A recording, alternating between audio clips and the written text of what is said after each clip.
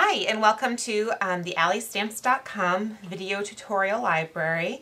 Today I'm going to be sharing with you how to watercolor with watercolor paper, um, your markers, and an aqua painter. And this is the card that I'm going to be demonstrating this technique to share with you. Um, all of the colors shown on this card are all going to be retiring at the end of June. So you only have until the end of June to order these colors and they're only available while supplies last. So I would encourage you to get your orders in as soon as you can. We've got Mellow Moss, Handsome Hunter, and Brocade Blue. First I am going to take a piece of watercolor paper and I have trimmed this paper down to four and a quarter by three and a half. And then I'm going to take my Stamp Set Elements of Style and I'm going to take this large bloom stamp. Now whenever I am stamping these larger images, I like to use a tile underneath them and you can get this at any home improvement store. This is just um, a bath tile and you want to make sure that you get a nice smooth finish. You don't want any veins um, or texture to your tile. And I have also, this is an oversized tile. I started out with a smaller tile but it didn't fit my background stamp so this is a larger tile. So I'm going to put my tile down and my watercolor paper and then I'm going to take my stamp um, and this is just StazOn black ink and you're going to want to make sure you use StazOn whenever you're watercoloring. Um, it's a permanent um, fast drying solvent ink and that means that it will not bleed or run when you go through with your aqua painter to watercolor it. I'm just going to stamp that down like so. And that tile really helped give me a better impression than I would have otherwise had. Take away the tile. And then I'm just going to go through and tear off part of that paper. And along that torn edge, I'm going to take Mellow Moss, and again, this is a retiring color, and ink that up. And I just cut all of my Stampin', the Stampin' Sponge comes in large circular wedges and I cut um, pieces off of, little pie pieces off of it, put them on a clothespin um, and just label them so I know which sponge is which and then your fingers don't get all inky because you're holding on to the clothespin. I'm just going to sponge up the edge of that to give it a little bit color, more color. And now I'm going to take my Stampin' Write markers and I'm going to use the brushed end of the marker and I'm going to color on the image wherever I want my darkest area to be.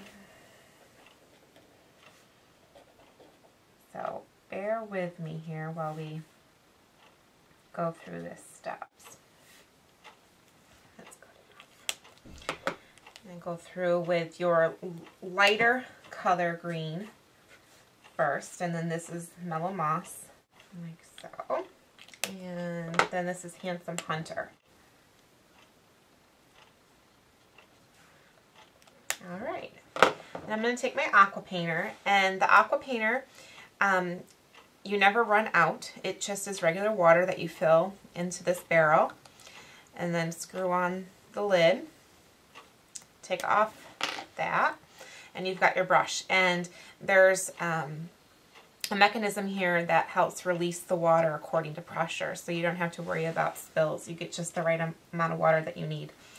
So I'm going to start with my blue and I'm just going to use the aqua painter to kind of scribble over where I put um, the marker itself to blend out the color.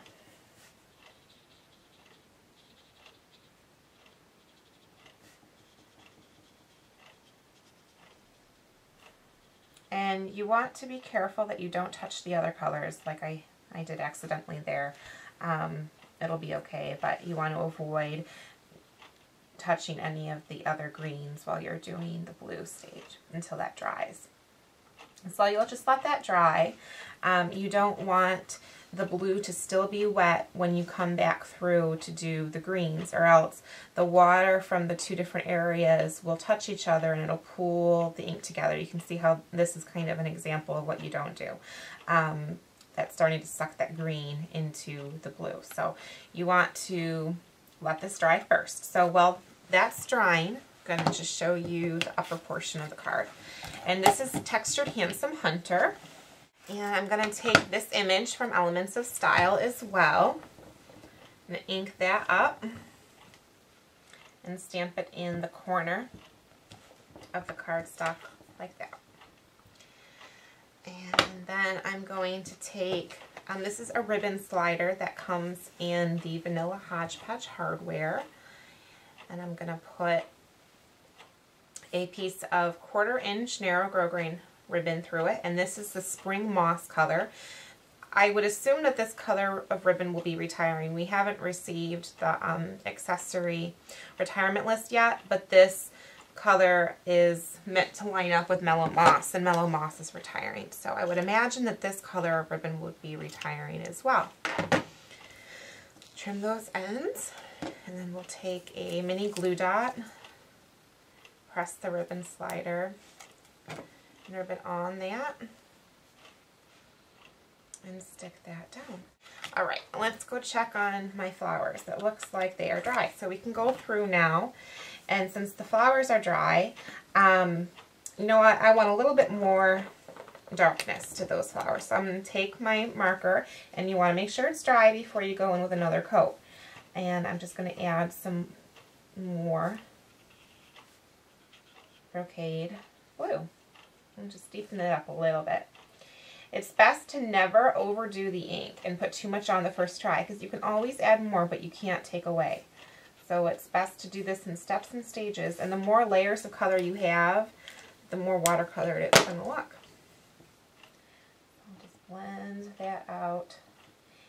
And I'm being really careful here to um, not go anywhere near the outside edge of the flower so that I can go through with the aqua painter and do the green as soon as I'm done with this without having to let it dry a little bit more for time's sake. Alright, so when you're ready to go into another color, you're just going to scribble off the aqua painter onto your grid paper so that you've got a clean bristle. And now I'm going to go through with my aqua painter onto the mellow moss.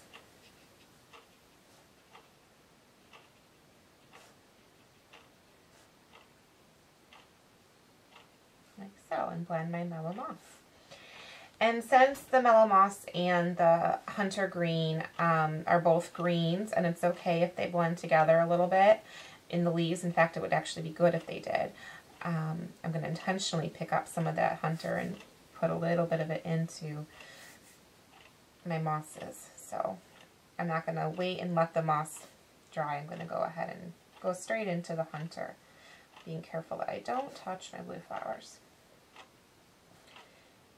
And you'll see here what I was talking about, about you need a lot less pigment of the darker color because a little bit goes a long ways. These darker colors blend a lot of the ink. All right, looks pretty good. I'm going to consider that done. That's what you have. So that is how you watercolor with watercolor paper and markers. And um, markers will not watercolor on other papers, so don't try to do this with your um, very vanilla or whisper white cardstocks. You want to make sure that you're using the watercolor paper. The way the um, the fibers in the paper are, you're just you're not going to get this look on any other paper. So when you're using markers, you want to make sure that you use to watercolor. You want to make sure that you use the watercolor paper in the Summer Mini Catalog. It's the Elements of Style stamp set. You can find where to purchase it. I showed you using this in the wood because I received the set for free at Leadership Conference this year, um, and it was given to me in wood. It is also available in clear, however.